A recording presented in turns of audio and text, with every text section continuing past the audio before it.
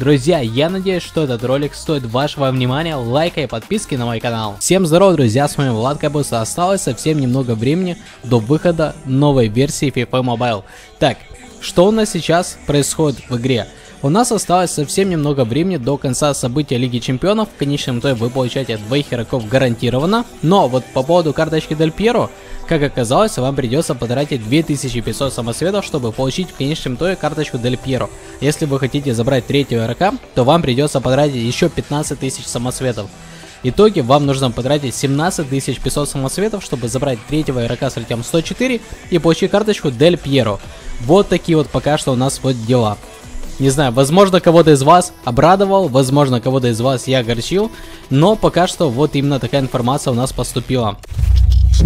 Пацаны и девчата, к нам наконец-то вернулся большой футбол. С помощью моих друзей OneX вы сумеете приподняться нехило так. У них высоченные кэфы, также широченная линия спортивных событий. И не только спортивных, также еще киберспортивных. Так что как можно скорее Пользуйтесь моим промокодом у моих друзей и также сканируйте этот QR-код. Всю подробную информацию вы сумеете найти в середине этого ролика, а также в закрепленных комментариях. Самые дешевые монеты можно купить у меня или на сайте ММО по ссылке в описании а мой промокод подарит вам 10% скидки и бонуса к вашим монетам. Дальше, что я вам хочу сказать. После событий Лиги Чемпионов у нас появляется событие в межсезонье. Это событие многие из вас ожидают по причине того, что в событии в межсезонье вы получаете достаточно неплохие награды и достаточно высокие рейтинги игроков. Я думаю, что в событии в межсезонье вы сумеете забрать достаточно неплохие награды, плюс улучшить ваш состав и парочку игроков с этого события вам перенесется в следующий сезон, если будет все-таки сброс составов. Отпишите, пожалуйста, в комментариях, ждете ли вы событий в межсезонье как вам вообще событие Лига Чемпионов. Понравилось ли вам это событие? Или пока что событие так себе, ни о чем. Лично я думаю, то, что событие Лига Чемпионов и вправду достойнейшее событие. Во-первых, за то, что я сумел получить 104 рейтинг игрока, и это уже здорово. Вы можете прямо сейчас написать в комментариях, кого из игроков вы сумели забрать. И также напишите, пожалуйста, в комментариях, кого следующего вы будете забрать из этих игроков, представленных вам. В событии межсезонье вы будете фармить себе наборы, и те наборы, которые вы нафармили, они будут переноситься в следующий сезон, и это здорово. Например, в этом сезоне вы нафармили себе малый набор игроков, и в следующем сезоне вы получаете при входе сразу, именно в почте, в разделе почты у вас появляется малый набор игроков. Там, например, 3 игрока с рейтингом 69 и по рейтингу 75. Вот такие вот наборы у нас будут тоже представлены.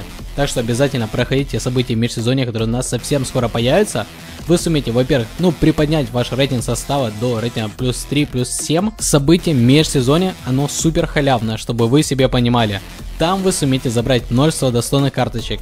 Вы же понимаете, то что eSports просто так вам игроков с рейтингом 104 не дарят. Они дарят только под конец, и когда они понимают, что да, вот пришло время уже сбрасывать составы, чтобы люди именно, вот знаете, вот получили то, чего давно хотели получить, они получили на халяву что-то, и они уже могут, знаете, вот как-то с легкостью отпустить и сказать, да, eSports красавчики, они старались, и благодаря eSports мы сумели хороший состав под конец игры собрать и достаточно неплохие награды получить.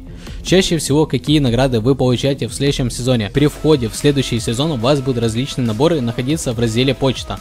Такие вот наборы, как малый набор монет, большой набор монет, элитный набор монет и так далее. Будут разные наборы с тренировочным опытом, усилением навыков. Усиление навыка будет намного лучше в следующем сезоне, нам бы обещали то, что не будут именно ненужных нам усилений будет намного меньше, и вам будет легче прокачивать ваше усиление навыков, чтобы просто-напросто вы не тратили именно ваши монеты, ну, не туда, куда вам нужно. Вы вначале, знаете, когда не раздупленный, вы зашли только в игру, вы думаете, блин, потрачу на это усиление, потрачу на то усиление, а потом только понимаете, что нужно именно прокачивая одно усиление, и так вам легче будет улучшать ваш состав. Так что вот так вот будет. Напоминаю ребятам, которые хотят вкидывать свои деньги в события межсезонья. Ребята, вам не стоит вкидывать деньги ваши в события межсезонья, потому что в этом событии те награды, которые вам eSports обещают, чаще всего при входе в новую версию вы не получаете ничего абсолютно достойного. Ну, например, вы покупаете набор за 1700 гривен, это 4000 рублей, либо 4500, я точно не знаю, сколько этот набор будет стоить, но вы покупаете этот набор, вам говорят, то, что вы гарантированно в следующем сезоне получаете игрока, и в этом сезоне еще одного игрока вам дают. Но, ребята, вы в следующем сезоне получаете бича. Вот этот бич вам не пригодится максимум, на опыт его сольете, либо куда-то еще. Он будет непродаваемым, так что не стоит вам тратить деньги ваши в эти наборы. Друзья, напишите, пожалуйста, в комментариях, сколько денег вы потратили в этом сезоне на игру. Возможно, и за все вот эти вот сезоны, которые у нас прошли в FIFA Mobile. Также я боюсь огорчить многих из вас. Следующий сезон режим атаки остается у нас. Не будет ничего новенького, именно управление будет таким же самым и геймплей особо не поменяется. Возможно там будут какие-то нововведения, но не особо много. Возможно будут новые финты, Графика, я думаю, особо не улучшится. Сейчас, кстати, достаточно неплохая графика, но прорисовка игроков, ну, желает лучшего. Бывает именно игроки очень хорошо прорисованы, а бывает такой epic fail, что аж просто смотришь и думаешь, блин, ну, куда-то не туда смотрели дизайнеры и EA Sports во время прорисовки лица игрока. Да, бывают epic fail ы жесткие при том. Как Андрея Шевченко, если вы, конечно, помните. Ладно, мы пока что переходим дальше. Стадионы. Чаще всего вы задумаетесь насчет вопроса стадионов, будут ли у нас они меняться. Мне кажется, то, что в следующем сезоне ну не будет ничего абсолютно меняться в плане стадионов, но хотелось бы. Вот формы в этом сезоне немного улучшили, EA Sports в СБЧ можно получить. Мне хотелось бы, чтобы вот сейчас, в 21 версии, нам вернули формы на рынок, и мне не хватает одного, мне не хватает, чтобы вот стадионы у нас тоже появились на рынке, вот, например, я захотел Old Trafford себе стадион, ну, и бах, я его себе купил, и чтобы моя команда выступала на этом стадионе при игре в равную игру. Также мне не хватает комментатора в равной игре и в тех испытаниях, которые мы проходим, там где нужно пройти матч. Матч долго проходится, вот ты играешь, грубо говоря, два тайма, начиная с нуля, ну как-то ты вот время тратишь, забил ты уже 2-3 гола и думаешь, блин, ну сколько уже можно, я уже не хочу забивать голы этой команде. Но тебе приходится играть до конца и до победного свистка. И как-то тебя особо это не впечатляет. Скучновато это время проходит. Хотелось бы, чтобы во время того, как ты играешь, даже матч обычный проходишь, которые испытания тебе дают, вот чтобы тогда кто-то комментировал, знаете, вот шутил, интересные шутки были, чтобы тебя, знаете, подкалывали во время того, когда ты не забил, либо забил. Вот это было бы супер круто. Не хватает все же комментатора 14 версии PFP Mobile, которая у нас была. Онлайн рынок нам вряд ли вернут, но все же, если, конечно, это сделать, то мы сумеем передавать наши монеты с одного аккаунта на второй аккаунт совсем легко. Выставили себе определенную стоимость игрока, и за эту стоимость мы взяли его и купили. Вот это вот было бы круто. Мне не особо нравится то, что боты заправляют нашим рынком. Мне хотелось бы самостоятельно решать, за какую стоимость я буду продавать своего игрока.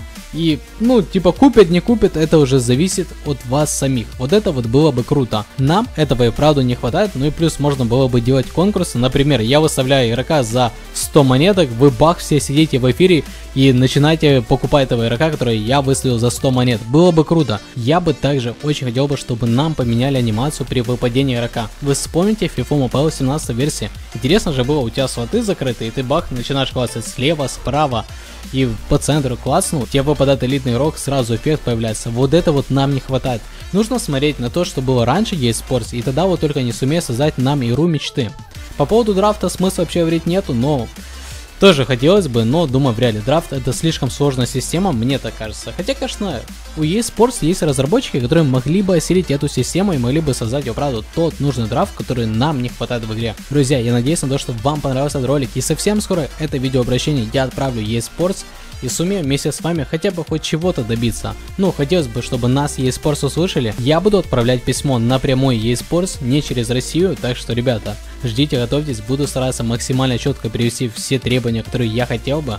Не знаю, услышат ли меня, услышат ли вас, услышат ли все наши требования, но будем стараться вместе с вами и попытаемся вместе с вами улучшить 21 версию FIFA Mobile. Все, ребята, всем вам до скорых встреч, не забывайте подписываться на канал для того, чтобы вы были в курсе всех новых событий, которые у нас выходят в FIFA Mobile. Все, ребята, всем вам пока.